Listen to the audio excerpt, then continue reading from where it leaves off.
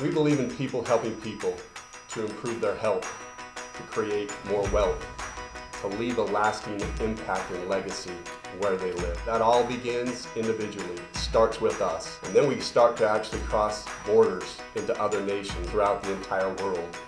That's our goal, to be able to impact 1 billion lives for good over the next 20 years.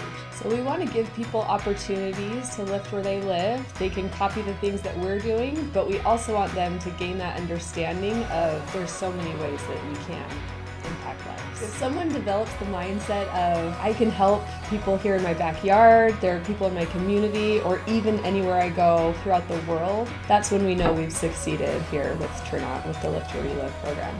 When you look at Tranont, when you see our logo, when you hear our tagline of Change Life, you'll notice that it is a ball that is wrapped in two T's. And we believe that that ball is more or less a representation of the world being wrapped in Tranont change. That's the premise behind the Lift Where You Live initiative.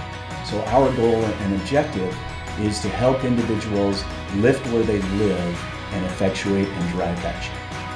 Lift Where You Live is not limited to one specific project or one specific moment in time. Affecting a billion lives for good is no small feat.